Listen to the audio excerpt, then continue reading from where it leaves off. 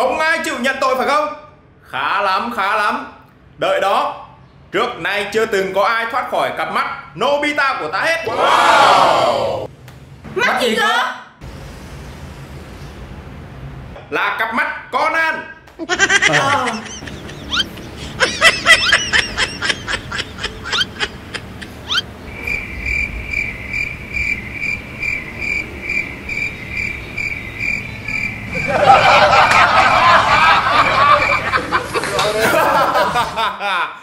Cuối cùng ta đã biết được nguyên nhân tử vong của nạn nhân rồi Nạn nhân bị chết do sốc điện Và Impostor chỉ có thể là một trong hai người mà thôi Su Hào, 30 phút trước cậu ở đâu làm gì? Ờ, tớ, tớ, tớ, tớ, tớ, tớ đi nhà vệ sinh Ê Linh Nhi, cậu đang cầm gì trên tay thế? Hello, it's me. Đâu, đưa đây cho tớ xem nào. Đây nè Đây là cây vợt đánh cầu lông. Tớ mới đi đánh cầu lông mới về.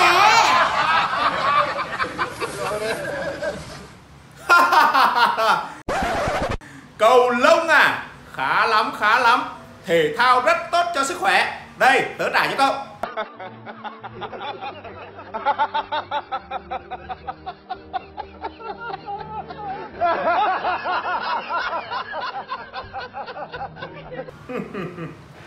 Hai người nghe tôi nói đây Tôi đã biết được chính xác ai là impostor.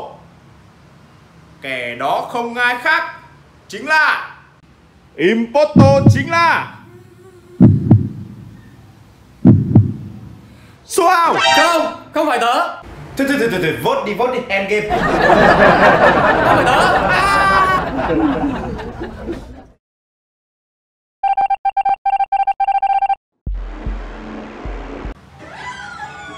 Ủa, sao vẫn chưa end game nhỉ? Này Linh Nhi.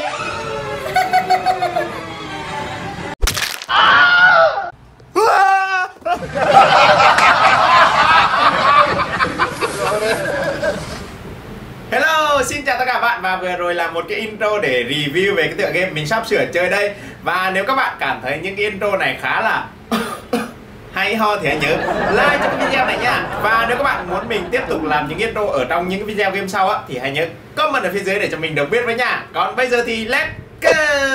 Yo yo yo, các bạn ơi như vậy là đã vào game rồi này. Và ở đây á, mình nhìn thấy hình như là một căn phòng này.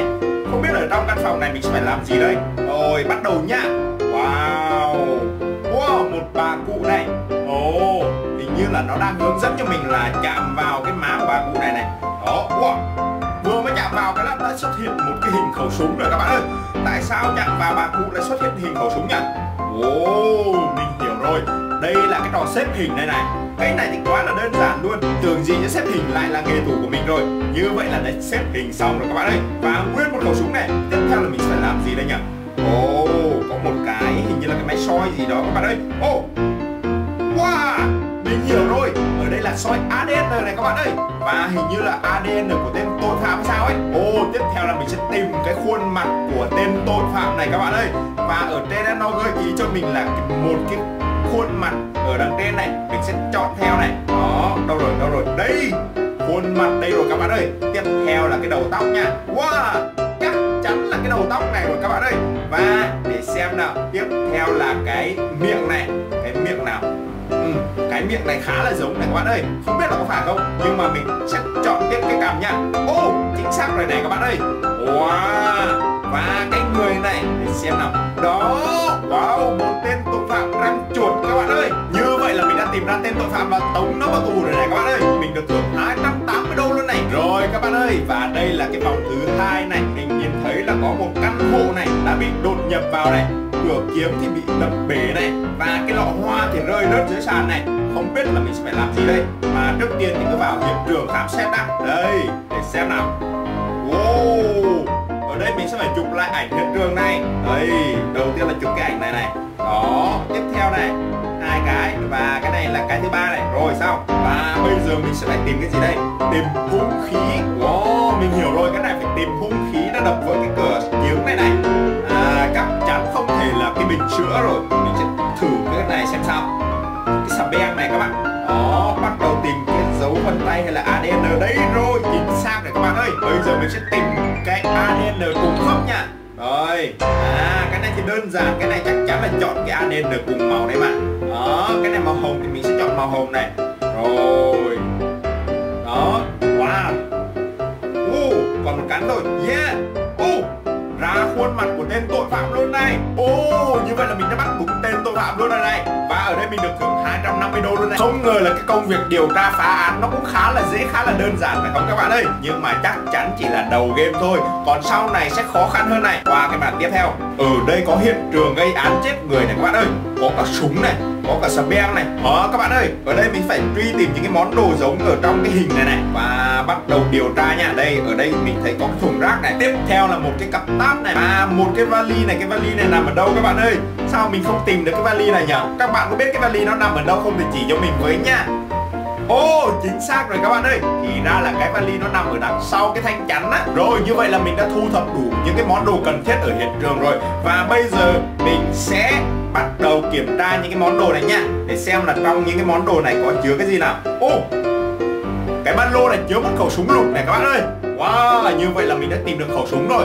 Và để kiểm tra khẩu súng này xem có dấu vân tay hay là ADN gì không nha. À đây đây đây đây đây. Chính xác rồi các bạn ơi. Như vậy là mình đã tìm ra được dấu vân tay trên khẩu súng này này. Cái công việc tiếp theo là mình sẽ phải tra cái dấu vân tay trùng khớp này Và tìm ra tên tội phạm này. Khá là khó khăn này các bạn ơi. Bởi vì nhìn cái dấu vân tay nào cũng giống cái dấu vân tay nào. Oh mình mà chọn sai cái là bắt nhầm người luôn á. Oh để xem nào. Ừ, ở đây có cái dấu vân tay của cái người ở đằng trên bên trái. Như rất là giống luôn này. Mình sẽ thử chọn đây nha. Wow yeah như vậy và ở đây á, cái tiền thưởng của mình được 70 đô này các bạn ơi. Yeah. Wow, các bạn ơi, thì ra ở đây là mình có thể xây một cái công sở làm việc riêng của mình này. Ok, qua cái màn tiếp theo nhá. Tay nhà báo này các bạn ơi. Hình như là mình sẽ phải điều tra tên nhà báo này này. Vừa mới chạm vào tên nhà báo này thì nó có xuất hiện một cái ống giống như là ống nghe khám bác sĩ này các bạn ơi. Mình sẽ phải ghép từng cái mảnh này lại để xem là có đúng không nha. Đó. Wow chính xác là một cái ống nghe tay nghe của bác sĩ rồi này các bạn ơi. Cái này là để nghe nhịp tim đây này. Và mình sẽ kiểm tra cái ống nghe này xem có gì nhá. Ô oh, có ADN này các bạn ơi. Chắc chắn là của tên hung thủ để lại rồi. Đây là hai người bị tình nghi này. Bây giờ mình sẽ kiểm tra xem là có ai mang theo cái gì khả nghi không nhá. Ồ, cái bà già này mang theo một cái răng giả này. Ồ, thì ra là bà bị móm Ok, và cái người tiếp theo nào Để xem là ông bác sĩ nào. Ồ, ông bác sĩ này mang một cái tai nghe trong người này các bạn ơi. Wow Chắc chắn ông bác sĩ này là thủ phạm rồi. Bây giờ mình sẽ bắt ông bác sĩ này lại luôn nha. Ơi, để xem là có đúng không nào.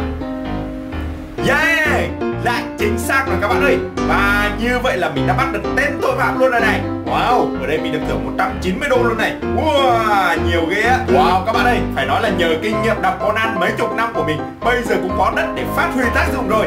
Yeah! Và qua cái màn tiếp theo nào. Ở đây lại là một hiện trường vụ án này các bạn ơi. Và mình sẽ phải chụp lại ảnh hiện trường này. Đây.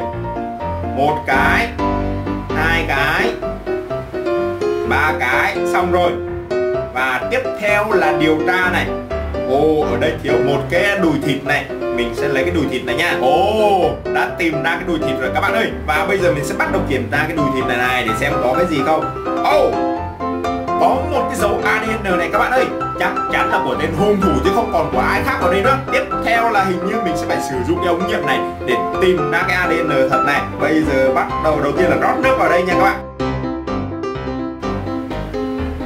Căn cho thật chuẩn nha. Rồi, thêm một tí nữa. Rồi bây giờ tiếp theo là cái màu vàng này. Rồi cái màu tím này. Đó rót theo cái thứ tự ở hình đằng trên này các bạn ơi. Đó chỉ cần giống là mình sẽ tìm ra được ADN được thôi. Wow! Ra thật luôn này các bạn ơi. Đây là khuôn mặt của tên tội phạm này. Wow, như vậy là mình đã bắt được tên tội phạm luôn rồi. Và được thưởng 180 đô này. Yeah, như vậy mình lại phá thành công rồi các bạn ơi. Và qua cái màn tiếp theo là Wow, hình như hiện trường vụ án này ở trong một cái hẻm rất là tối này các bạn ơi. Wow, bây giờ mình sẽ bắt đầu điều tra này. À, chụp lại ảnh hiện trường này. Đây, một hai ba. Rồi, mình biết rồi, mình sẽ phải vẽ lại cái hiện trường vụ án này đây chắc chắn là uh, người bị hại này người bị giết ở đây này các bạn ơi. Và mình sẽ bắt đầu dò tìm dấu vết này để xem có cái gì không. Có manh mối đây rồi các bạn ơi. ADN của sát nhân đây rồi. Bây giờ mình sẽ bắt đầu tìm cái ADN của tên tội phạm nha các bạn ơi. Cái này chỉ cần tìm cái ADN giống nhau là được các bạn ơi. Và ở đây để xem nào cái ADN mình tìm được là cái ADN màu xanh lá cây và cái người có màu xanh là cái đây rồi các bạn ơi. Chính là cái tên người xấu ở phía dưới bên trái này này. Mình sẽ bắt cái tên này lại nha. Yeah, chính xác rồi. Ok các bạn ơi. Từ đầu đến giờ mình phá án chưa hề để một tên tội phạm nào thoát khỏi tay mình cả các bạn ơi. Ok, đến đây thì video của mình khá là dài rồi Và hẹn gặp lại các bạn trong những cái video game lần sau nha. Còn bây giờ thì bye bye.